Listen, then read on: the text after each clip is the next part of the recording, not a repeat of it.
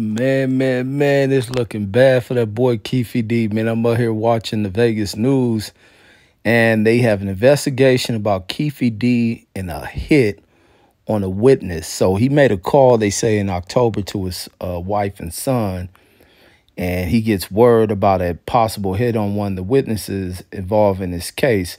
And the government, you know, intercepted that and they reacted to trying to get this witness uh, put in protection, man. So this could look bad for Keefe D, man, if they got some kind of hit going out on a possible witness out there. So there's a living person who may have information on the situation with this dude. So maybe everybody involved in this Tupac thing ain't dead.